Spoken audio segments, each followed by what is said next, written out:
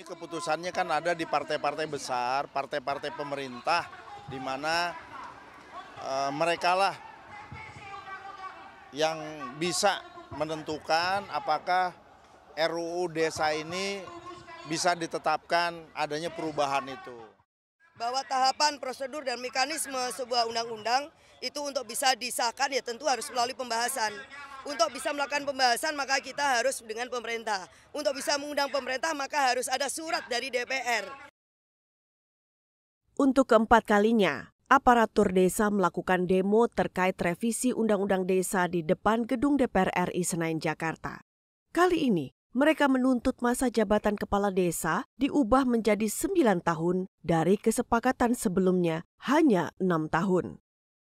Jangan lupa subscribe channel Nagari Banget dan aktifkan notifikasinya.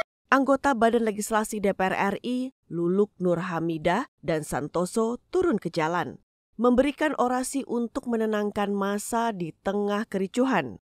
Luluk menjelaskan, saat ini Badan Legislasi sedang menunggu keputusan dari pimpinan DPR RI untuk mengundang pihak pemerintah guna membahas revisi Undang-Undang Nomor 6 Tahun 2014 tentang Desa bahwa tahapan, prosedur, dan mekanisme sebuah undang-undang itu untuk bisa disahkan ya tentu harus melalui pembahasan. Untuk bisa melakukan pembahasan maka kita harus dengan pemerintah. Untuk bisa mengundang pemerintah maka harus ada surat dari DPR. Karena apa? Karena ini surat keluar dengan mitra kita pemerintah.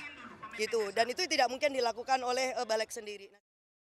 Anggota Badan Legislasi DPR RI Santoso berjanji akan menampung aspirasi dari para perangkat desa dan menyampaikannya pada saat rapat lanjutan pembahasan revisi Undang-Undang Desa antara DPR RI bersama pemerintah.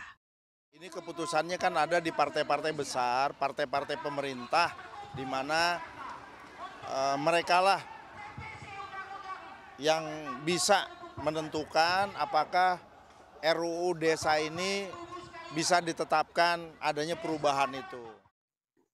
Jangan lupa subscribe channel Nagari Banget dan aktifkan notifikasinya.